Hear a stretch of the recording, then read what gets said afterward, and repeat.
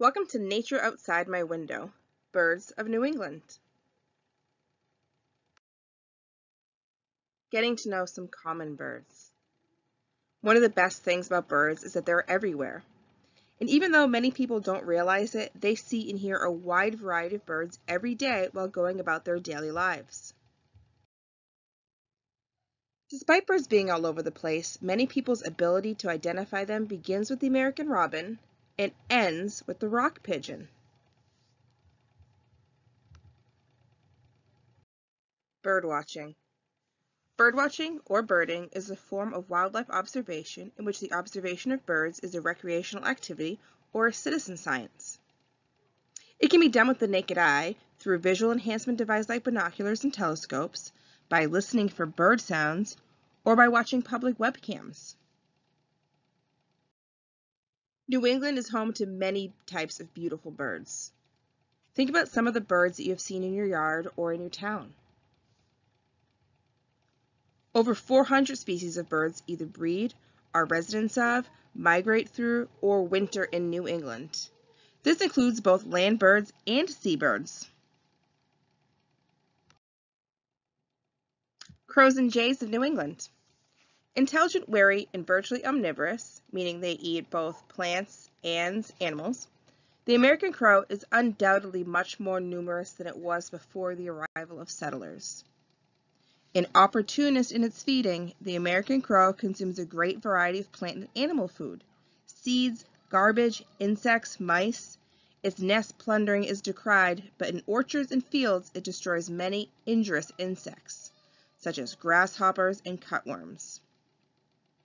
However, the labeling of birds as either harmful or useful is misleading and antiquated, so it's something people don't really do anymore. Crows do destroy many eggs and nestlings of woodland and meadow birds, but they also weed out the weak and feeble, and they alert the animals in a neighborhood when danger approaches.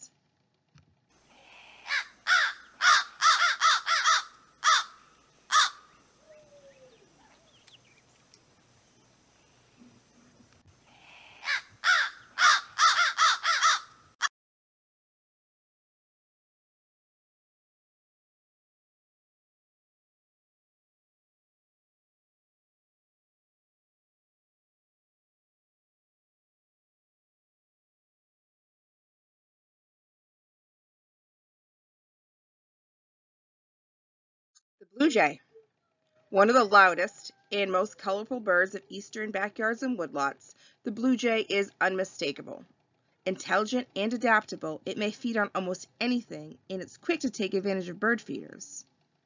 Besides their raucous JJ calls, blue jays make a variety of musical sounds, and they can do a remarkable imitation of the scream of a red-shouldered hawk.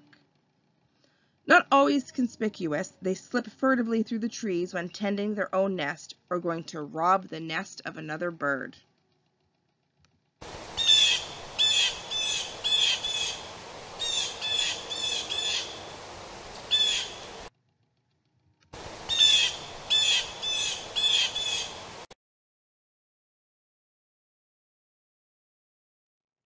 Of the birds classified as perching birds or songbirds, the common raven is the largest, the size of a hawk. When it comes to intelligence, these birds rate up there with chimpanzees and dolphins. In one logic test, the raven had to get a hanging piece of food by pulling up a bit of the string, anchoring it with its claw, and repeating until the food was within reach. Many ravens got the food on the first try, and some got it within 30 seconds. In the wild, ravens have pushed rocks on people to keep them from climbing to their nests. They've stolen fish by pulling on fishermen's lines out of ice holes. And they play dead beside a beaver carcass to scare other ravens away from a delicious feast. If a raven knows another raven is watching it hide its food, it will pretend to put the food in one place while really hiding it in another. Since the other ravens are smart too, this only works sometimes. Songbirds of New England. What is a songbird? Songbirds are perching birds. They belong to a group known as passerines. Nearly half of the world's birds are in this group. These birds have specially adapted feet with three toes facing forward and one toe facing backwards. This allows them to grip onto a perch. Songbirds can be seen in your garden, in parks, woodlands, and on farmlands. If you feed the birds at home, most of the birds that visit your feeder will be songbirds. Songbirds have a highly developed voice box which allows them to sing beautiful and complex songs. Their songs can be heard most clearly early in the morning, and this is called the dawn chorus. The black-capped chickadee. Now I've noticed I've seen a lot of these in my yard in recent days. Tiny, plump-bodied, big-headed bird is a familiar woodland resident and backyard visitor in the northern U.S. and Canada. Gray overall, with buffy flanks and a contrasting head pattern, black cap, white cheek, and black throat, short stubby bill is used for hammering open seeds. You might have heard their sound from your window or from your yard.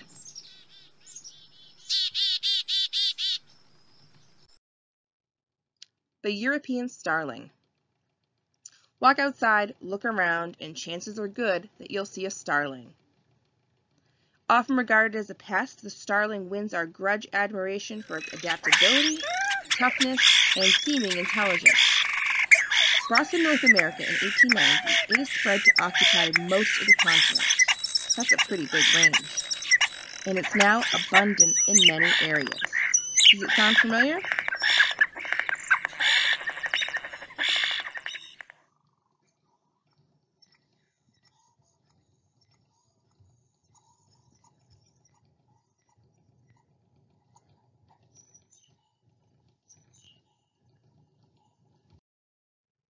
House sparrow.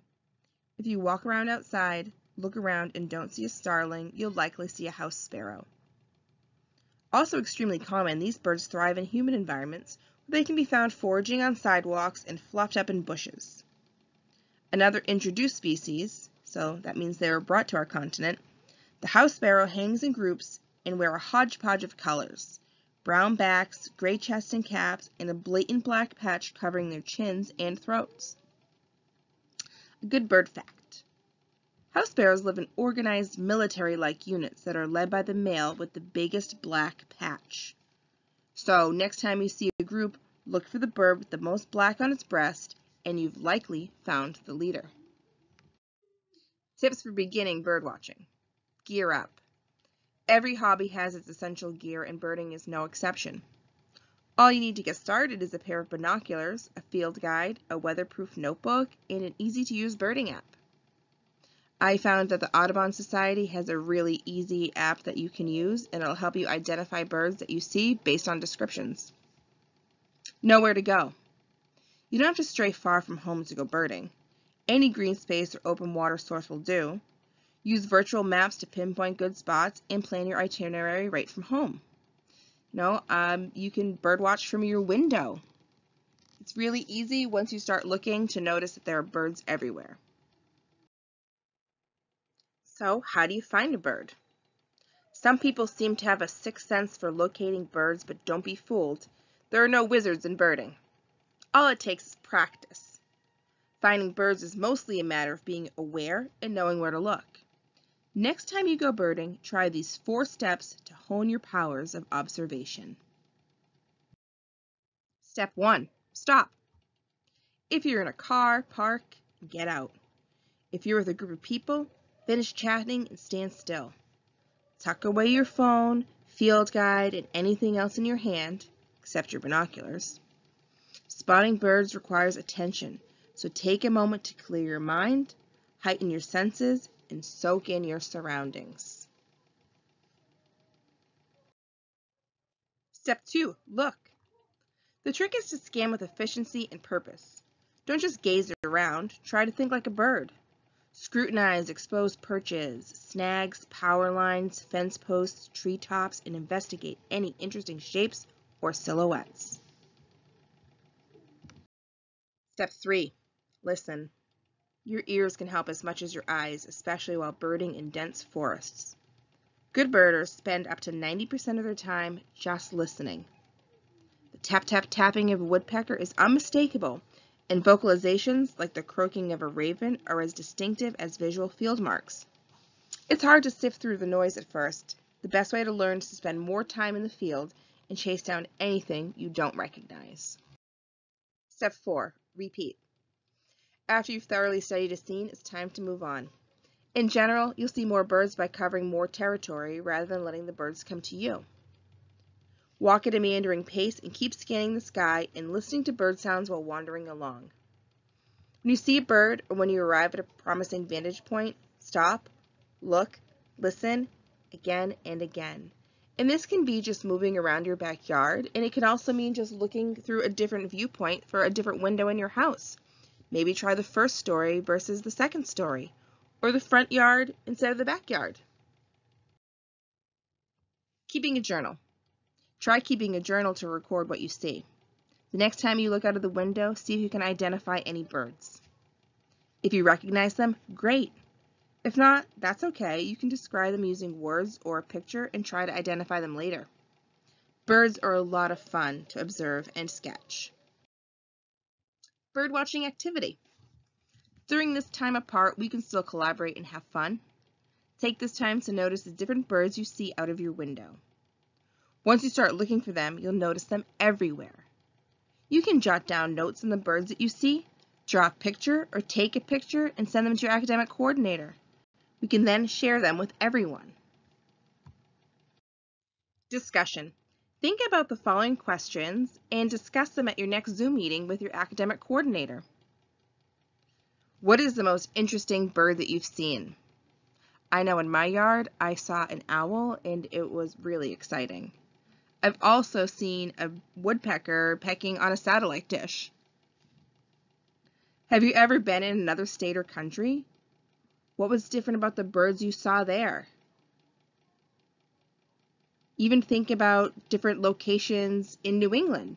Are there different birds on the beaches? Bald eagles are making a comeback in our area.